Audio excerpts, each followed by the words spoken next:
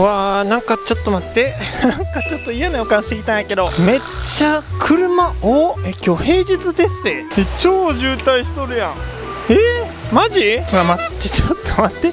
今京都こんなことなってんの？やば人めっちゃ多なってもうたやん。久しぶりに来たらこんな人増えとるんか。はいということで到着しました。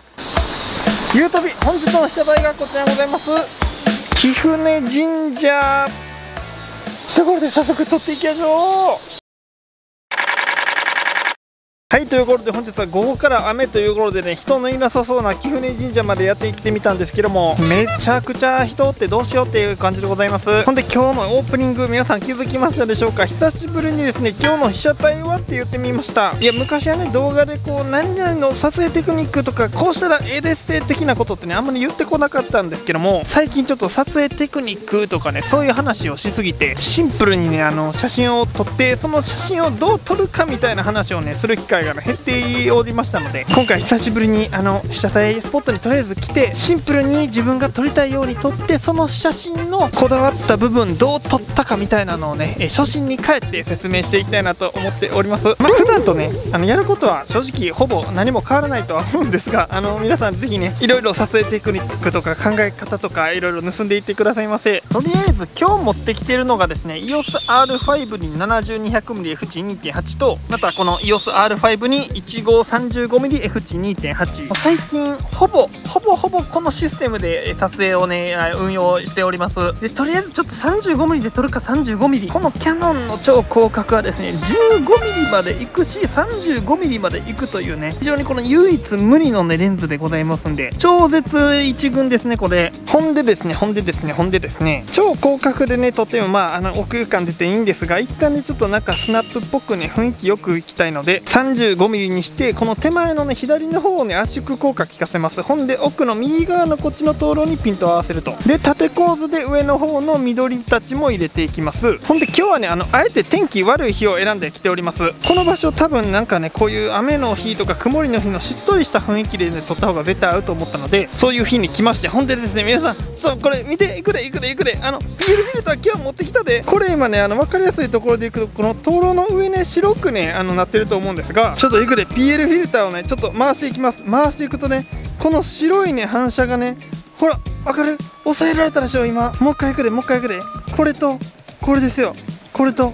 これ。なのでね今回もこのドヤ顔で PL フィルターのね力もね借りつつよりねこの緑の色とか赤の色をねはっきりと出してしっとりした雰囲気でね撮っていきたいなと思います。ということで今ちょうど人おらへんからここを立てることで撮っていきましょう。で設定していきます。とりあえず安定の A モードからの露出補正はねもうプラマイゼロにしときます。これで白飛び黒つぶれもねしません。ほんで F 値をねちょっと4まで上げておきます。F 値4一番左手前の方はちょっとぼかしてただでも F 値2.8にしすぎるとね他の部分にも若干ピントが合わへんくなったりしてきそうなんで。ちょっとだけなんとなく気持ちで絞っとく程度でね絞っときます。これでシャッタースピードあ手ぶれするんか。4分の1秒やったらねあのちょっと手ぶれしそうなんでその分ね ISO ちょっと上げときます。ちょっともう暗なってきてるんでね ISO うんまあ640ぐらいにしとくか。いや800まで上げときましょう。手ぶれ怖いんでねほんま。ということでこの設定で撮っていきましょう。はいということでこんな感じの写真になりましてもうシンプルイズベストなんですが 35mm までね、えーこのレンズがいけるというのがねもうそもそもめっちゃいいやっぱり今日みたいにねもうほんまにあの人が多い時は望遠になればなるほどねうまいことどっか切り抜くことができるのでなんとかこう今日はね望遠側にしてほんで圧縮効果を効かせて人がね入らないように入らないようにねちょっと工夫していきたいなって思っております。ほんでさこれ今気づいたけども PL フィルターなんか使うたびに気づきがあるけどこれここの U 飛びのこの髪の毛の反射とかも抑えるとるなこれ。普通に多分撮ったらねこんな感じでねあの反射してると思うんですがこの反射もこうやって抑えることができてなんか茶髪みたいになっとるゆうとびこんな色しとったんや自分の髪の毛知らんかった。でただちょっとさ 外れんくなってもうてんけど。外れた外れた外れた。外れたわ。これ今ね 82mm のね PL フィルター持ってきてるんで 7200mm にもねこいつが 77mm のあの K なんですけども普通にこうやってあの重ねて取れれ取れば多分普通に使えると思うんでちょっとこれでまたちょちょっと反射とか抑えて狙っていきたいなと思います。望遠側が今日は行きそうっていうかステップアップリング買おうマジで。あ間違えた逆やった。逆やった。なんか急にダサ。急にダサいフード変えるだけで。ちょっとまたね、えー次こっちのレンズで撮っていきたいなと思います。ということで次。はいということで次なんですけど次はちょっとね右側から奥のあのね鳥なのか何なのか奥の方も横構図で全体的にね撮ってみたいなと思います。もう人がいなくなるのをもうひたすら待ってみる。何かかるか分からんけどいつかチャンス来るやろ多分。ほんでですね今回ですね今回ですねこの 7200mm の 135mm にね合わせて撮ってみたいなと思います。いやね 135mmRF135mmF1.8 あれどう？あれめっちゃ欲しくなってきてしまってるんですけども。いやほんまに。あかんか買うわけないかへんねんけども欲しい。ちょっとまた。135mmF1.8 のレンズについて語る動画もねあのちょっと撮りたいなと思っておりまして。ただねその語る系の動画撮ったらもうさ今まで言うとね全部買ってしまう流れになってしまってるんですよね。だからあんまちょっとね撮りたくはないけどもねちょっと撮りたいなと思って、まあ、今日はちょっと実験でですねあの 135mm で F 値2.8で撮ったらねどんなもんなのかっていうのをねあの撮ってみ変えてみたいなと思います。ということでちょっとレンズ切り替えてみましょう。これで 70mm で 200mm だったらここまで望遠にできるけども 135mm っつったらこんなもんですね。こんなもん。望遠でもないでなんかこう絶妙なねあの焦点距離でほんで右の方にねちょうどこう灯籠の光もねついてくれましたんでこの右のねあの前ボケをねアクセントに入れていきたいなと思います。ほんでちょっと待って今めっちゃちょっと待ってチャンス？チャンス？もしかしてチャンス？人いないんじゃね？いなくなるんじゃね？ちょっと待って一旦ちょっと動画撮ります。あのあとは PL フィルターの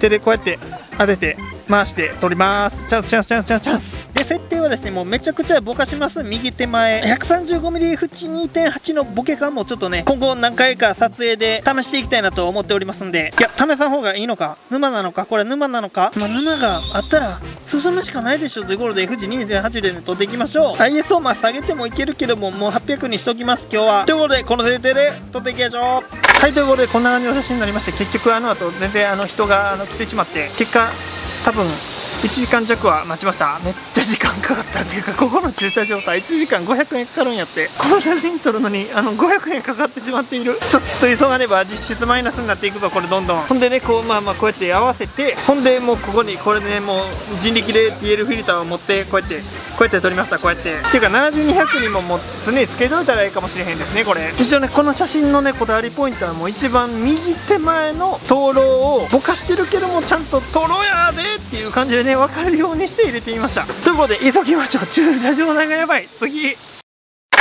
はいということで次なんですけども次はですねここで撮っていこうと思います。この灯籠赤いやつ綺麗。ほんでねこっちのあの鳥居みたいなやつも綺麗と。でこの場所に何回か来てたんですがねこんな木生えとったんやな。ここめっちゃいいやんこれ。今まで一回も気づかへんかったこのめっちゃ生命力の激しい木。前回の動画でもねあのなんかなんか見つけたら他のやつなんかないかな言うてね探してくださいっていう話をしたと思うんですがまさにねそれをね実践した結果目立ってるはずやのに全然見つけられなかったね木がねあったのでそれをね上にズドンとね生やしていきたいなと思います。超広角で狙っていきます。超広角。ちょうどねなんかしっとりしっとりしてきたんで雰囲気ねめっちゃ合うと思いますここ。ということで後ろは大丈夫ね。後ろ大丈夫なんでちょっとここでねあの何枚かあの頑張って絶妙に収まる場所を探して撮っていきたいなと思いますで設定していきます。今回はですね F 値をね9にします。F 値9大きく9に上げます。手前の灯籠鳥ほんであの上の木とか葉っぱとかも全体的にねピント合わせたいので F 値を911とか14まで上げてもいいっちゃいいんですがそこまで上げんでもピント合うと思うしほんで暗いんでねあんまりこう上げすぎるとシャッタースピード遅くなりすぎて手ぶれしそうなんで F 値9ぐらいにしておきます。ということでこの設定で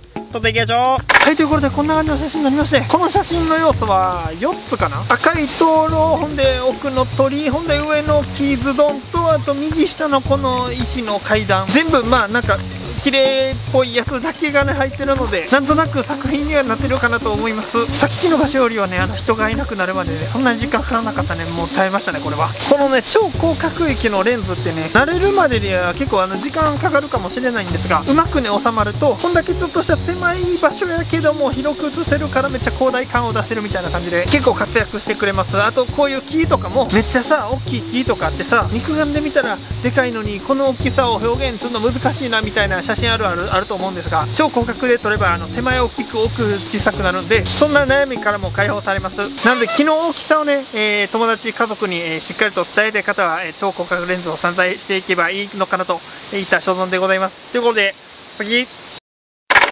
はいということで次なんですけども唐突クイズ。はいここでですねユートリアどこを取ったでしょうか。さあ唐突に始まってまいりました皆さん。新緑がね非常に綺麗でございましてこのね幹の幹のラインも綺麗ですね。この幹のライン。ほんで奥にはね、えー、灯籠がまあ見えておるんですがね。このですねちょっと待って。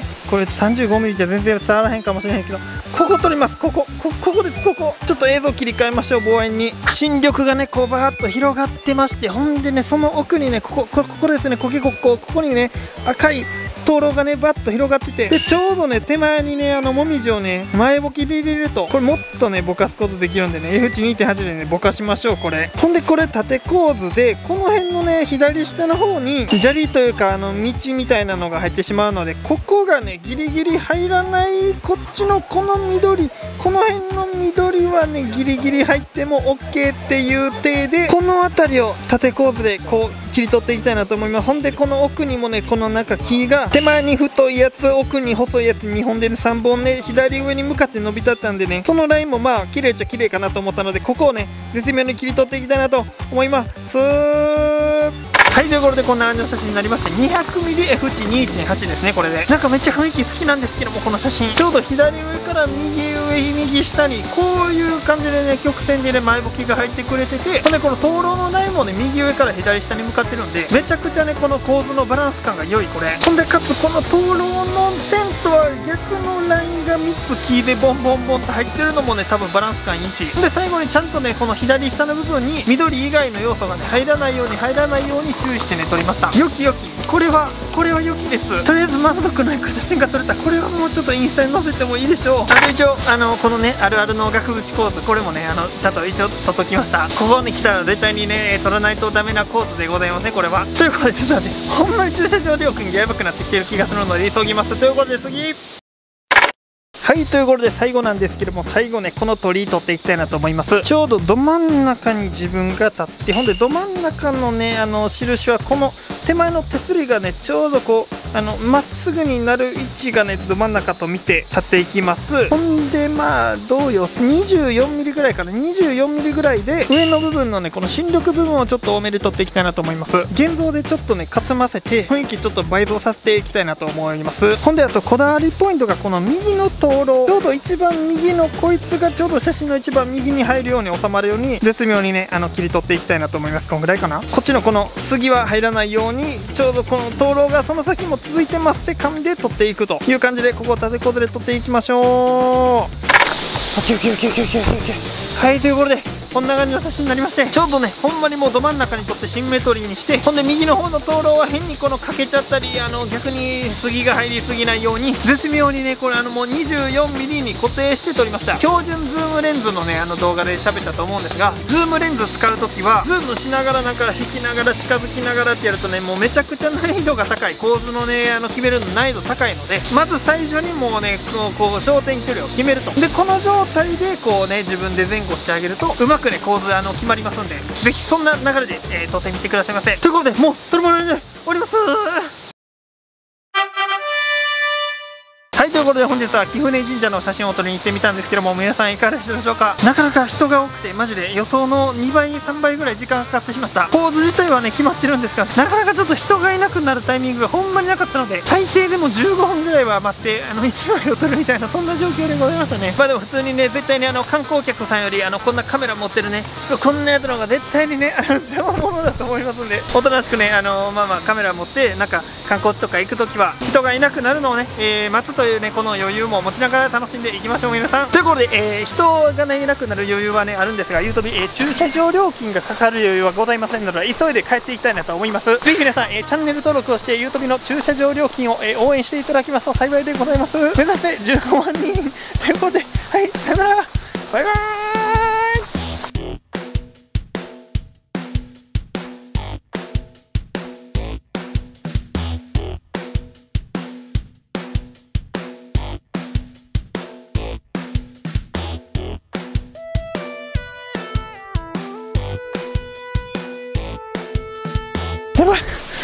時間取っててやばい。何倍やもう1時間500円やったやろ。1時間の500円3時間おったら1500円。1500円もいくかな？駐車場料金。急げ急げ。急げ急げ急げ急げ急げ。はい着いたぞ。着いたぞ。着いたぞ。何番何番何番？5番。5番。5番。5番使料金支払う。はい。5番。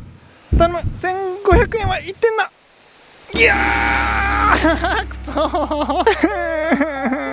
払います。ちょっと行かないで行かないで。ああ領収書領収書60枚ぐらい出へんかなこれ。来いバグって来いバグって出てこい。あ1枚や。そらそうか。ってころであの皆さんいっぱい再生してください。帰ります。